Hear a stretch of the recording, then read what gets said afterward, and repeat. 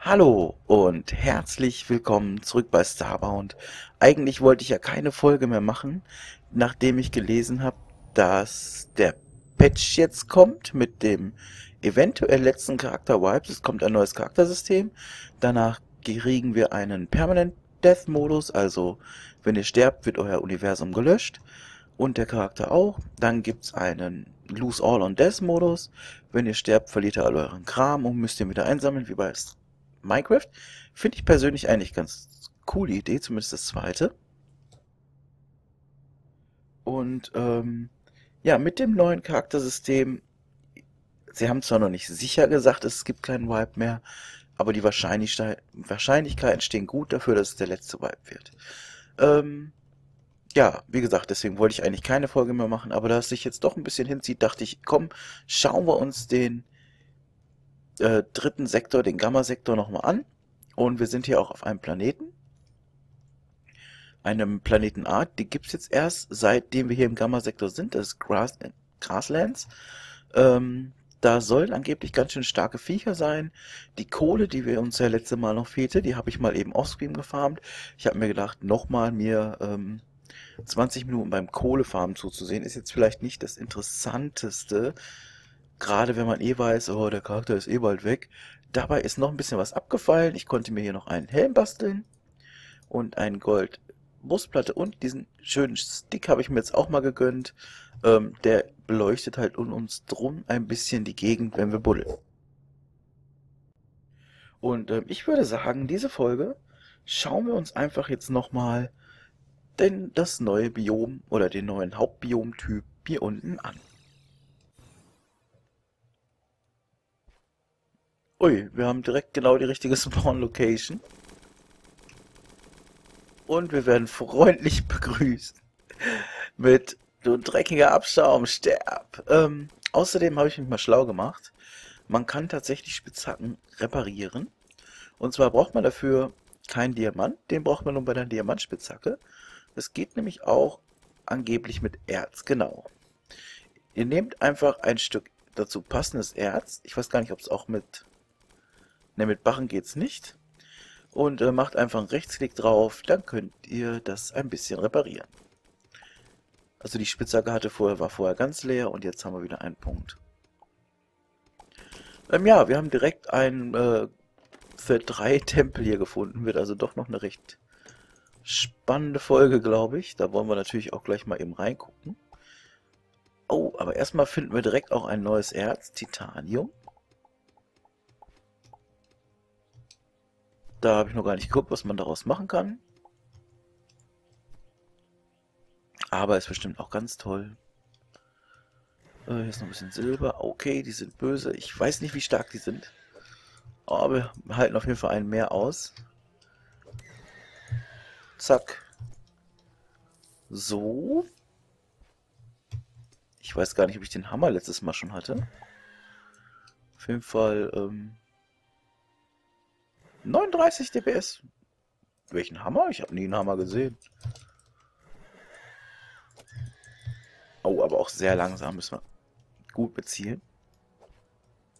Ja, so habe ich das gern. Direkt in der ersten Truhe eine neue Waffe.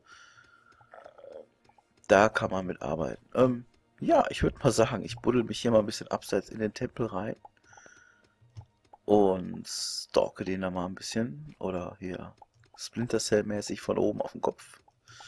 Mit unserem neuen Schwert, in der Hoffnung, dass er uns nicht mit zwei Schüssen umhaut. Ich habe keine Ahnung, wie stark die Gegner hier sind.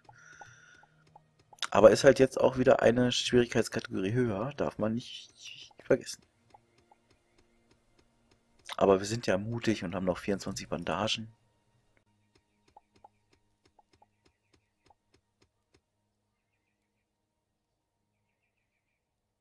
Ich traue mich nicht. Trau mich nicht. Trau, doch, sicher trauen wir uns. Das war zu schnell. Und... Nein. Ja, eine Mini-Waffe. Ach, nur für 10. Ja, dann nutzen wir die Gelegenheit und packen hier ein bisschen Geld ein. Oh, nein. Uiuiui. Ui, ui. Okay. Das Ding schießt ziemlich schnell. Ja, es kommen übrigens auch neue Waffen. Und noch andere lustige Sachen habe ich gelesen, aber die habe ich schon wieder vergessen. Die erzähle ich euch dann aber nochmal dann, wenn der Patch dann auch da ist. Wann er genau kommt, kann ich euch leider auch nicht sagen, aber es kann eigentlich nicht mehr lange dauern. Ja, Tempelkram brauchen wir nicht. Wenn die alle hier solche Knarre haben, Knarren haben, dann wird es aber eine ganz schön harte Runde. Und viel aushalten tun die auch. Also ob wir hier so weit kommen, weiß ich gerade gar nicht. Aber ich, ich buddel mal ganz eben hier in den Boden rein. Ich sehe da nämlich gerade Erze. Und dann kann ich euch auch mal direkt nochmal eben diese tolle ja, Taschen- oder Rückenlampe, die wir haben, zeigen. Denn damit sparen wir uns eine Menge Fackel. Die nähere Umgebung sehen wir nämlich damit immer.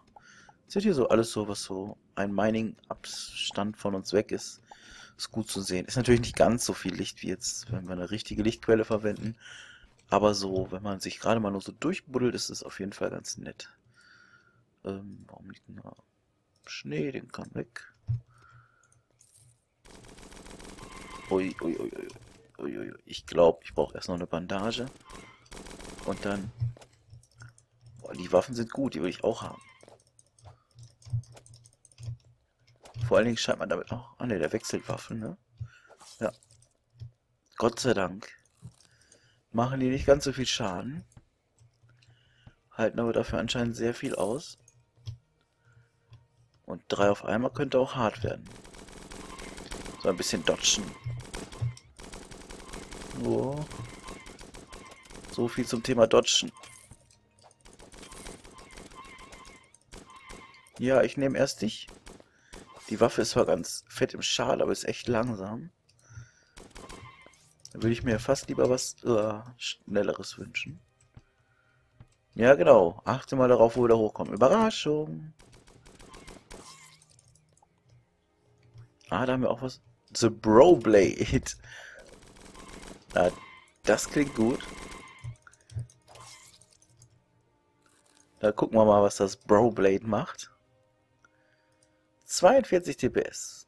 Das ist sogar noch mehr als unser komisches langsame Ding. Langsames Ding hier.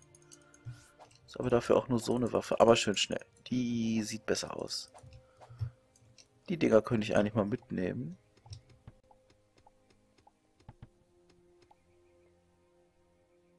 Wollte ich jetzt nicht unbedingt haben. Aber egal. Au, au, au, au, au, au. Geh weg. Ui, hier sieht der Hintergrund auch gut aus. Meine Güte. Ah, die DPS. Ja, ich habe Dirt Nibbler getötet. Und ich werde es wieder tun, wenn ihr auf mich schießt. Ich habe vergessen, dass die DPS ja auch die Geschwindigkeit schon mit eingerechnet. Das heißt, wir müssen hier natürlich auch wesentlich öfter mit schlagen. Aber wir können ja auch öfter damit schlagen. Lasst mich ruhig, ich möchte mich mal eben heilen. Genau, schön auf Midi-Waffen wechseln. Birdkiller haben wir auch getötet. Und dich werde ich auch noch töten. Seid ihr nicht Vögel? Oh, der war knapp. Den Happy Fish Killer. Was haben die denn hier für Namen? Wo ist er? Sharp Planet Kisser. 56 DPS mit Feuerschaden. Ah, hier ist heute Waffentag. Was haben wir? Holy Battle Blake 46. 55. Mit Gift, ne? Ich lasse mal hier mit... Ups, Moment, nicht so viel. Yeah, eine Kriegsaxt. Schön. Noch schöner wäre es, wenn die einhändig wäre. Stirb. Nicht ich, ihr. Ja, ich habe Swoop Nibbler getötet. Lebt damit. Ihr habt zuerst geschossen. Undead Upend Walker. Oder Waker. 68 DPS, jetzt fallen mir aber langsam die Augen raus. Ne, Moment, das war jetzt aber die falsche. Ich äh, mache mal hier so ein paar kleinere davon weg.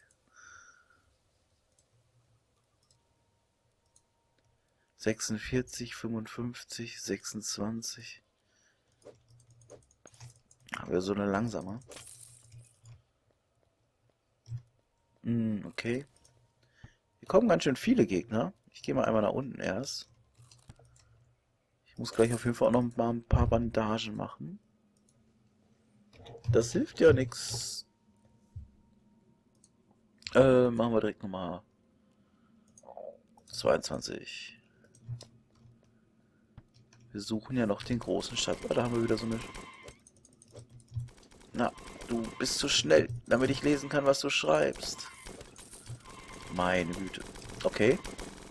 Wow, ein Hinterhalt. Da hat wer einen schönen Vogelding gebastelt. Oh Mann, ey. Hey, ich war da zum Schutz suchen. Wen haben wir? Duck, Pound, Pounds haben wir getötet.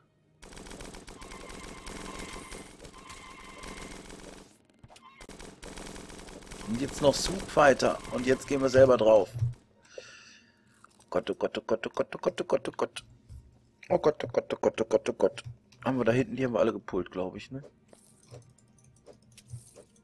Ist ja schon schick hier mit den Köpfen. Aber inzwischen haben wir, glaube ich, auch genug hier zusammen, damit wir mal einmal wieder sterben dürfen. Loot gibt es hier auf jeden Fall auch eine Menge. Da verrecken Viecher in Gift, da wollen wir gar nicht runter. Ich nehme mir mal den, die Hintertür. Wobei, die Felder sind zu hart abzubauen. Da gehen wir so rein. Müssen wir einmal heilen. So. Nehmen wir das Geld hier noch mit. Und dann gehen wir ganz ganz entspannt hier Schick McNuggets machen. Blue Stimpaks. Brauchen wir nicht. Da habe ich immer noch keine Verwendung für gefunden. Ich habe mir auch noch nicht so ganz gut angeguckt, was es hier so gab. War es das? Hm, da, ich gehe hier mal nach unten. Wer weiß, was wir da noch finden. Oh, schade. Direkt so eine schöne Waffe. Da muss ich ja eigentlich morgen nochmal eine Folge machen. Sonst lohnt sich das ja gar nicht. Also wie gesagt, es hieß bald kein genaues Datum für den Patch. Aber es ist halt so ein bisschen äh, demotivierend, wenn man weiß, ja, du bist jetzt zwar schon ganz schön weit, aber alles, was du jetzt noch tust, ist dann die Tage mal wieder weg. Ist ja, denke ich, für euch auch dann nicht so spannend. Ich meine, wie viel... Mindestens das dritte Mal schaut ihr mir dann beim UFO-Töten zu. Ich glaube sogar das vierte Mal. Ah ne, ist erst das, ist sogar erst das zweite Mal, ne? Ich habe zweimal gemacht, glaube ich, und das eine Mal war ja die Aufnahme nichts geworden.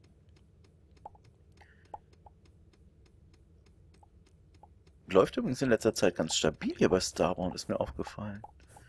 Seit ich dieses OpenGL nicht mehr benutze. Ich hoffe, das wird dann noch ein bisschen besser mit dem nächsten Patch. Aber es scheint auf jeden Fall ein großer zu werden. Da war einiges war dabei, was sich jetzt ändert. Oh. Oh, oh, oh. Was ist das helle hier? Platin, schön. Ich kriege schon bald eine neue Spitzhacke. Jetzt kann ich euch sofort nochmal zeigen, wie man das Ding repariert. Man nimmt diese Spitzhacke, zieht die hier rein. Äh, am besten auf irgendeinen Grummel, den wir nicht mehr brauchen. Da ist noch unsere Ersatzspitzhacke. Am Mondgestein muss ich behalten für einen Effekt. So. Jetzt nehme ich mir das Golderz und klicke da einfach zweimal rechts drauf. Machen wir dreimal. Und schon ist das Ding wieder halb voll.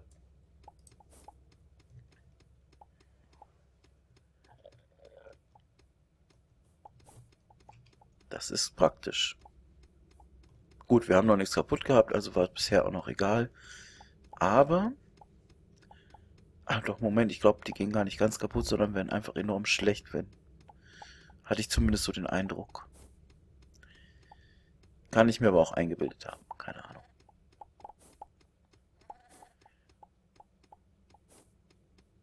So. Ganz viel Titanium. Das scheint nicht so selten zu sein wie die Edelmetalle auf jeden Fall. Aber ich hätte ja gern auch noch mal ein bisschen Stahl.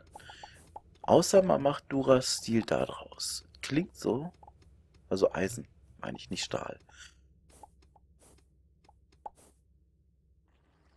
Oh, wir haben schon wieder Neonmelonen gefunden hier. Njam, njam, njam. Ich dachte gerade, was sind denn das da für Füße in der Wand? Aber es ist unsere Laterne. Ich gehe mit... Oh nein, ich bin...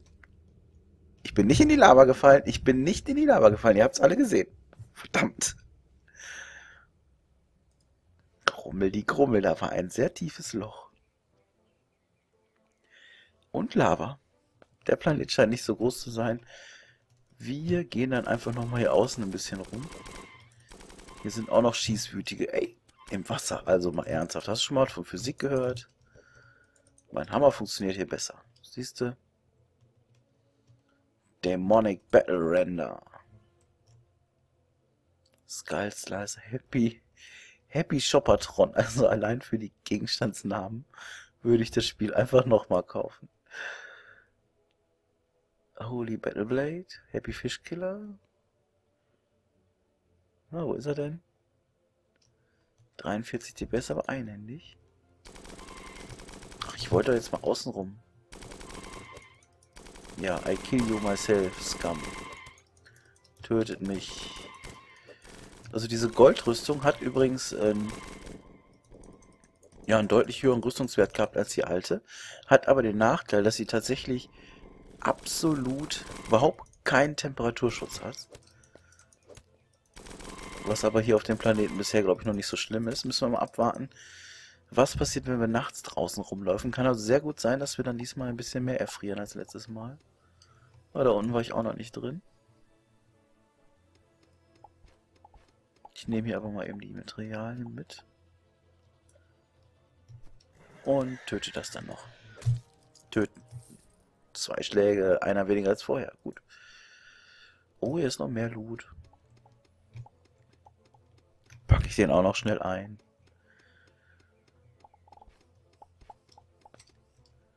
Okay. Na gut, für diese Runde haben wir auf jeden Fall ein bisschen Grasslands gesehen, wobei wir jetzt von der Oberfläche noch nicht viel mitgekriegt haben. Ich kann ja bei der Verabschiedung nochmal ganz frech hier hinlaufen. Hier sieht man übrigens auch schön über die Planeten, die es sonst noch hier im Sonnensystem gibt im Hintergrund, glaube ich. Sieht auf jeden Fall ziemlich cool aus, da mit der Sonne so. Ein schöner Hintergrund, während es langsam nachts wird und wir uns zur Ruhe begeben. Kann ich eigentlich nochmal eben abwarten, ob uns jetzt tatsächlich kalt wird hier. Wobei das Ganze hier bis jetzt ja noch nicht so kalt aussieht. Eigentlich noch ziemlich verkraftbar. Ui, guck mal, wir haben sogar noch einen Diamanten gefunden. Ha. Reich, reich. Wir brachten die nochmal 100 direkt oder sowas, ne? So, es wird Nacht. Ja, wie gesagt, ähm, sollte sich das mit dem Patch noch ziehen, mache ich gerne nochmal ein, zwei Folgen hier auf diesem Graslandplaneten. Schauen wir uns hier nochmal um. Ich denke, den dritten Boss werden wir dann nicht mehr angehen. Außer es bietet sich tatsächlich jetzt einfach an, weil wir so viele Mats finden.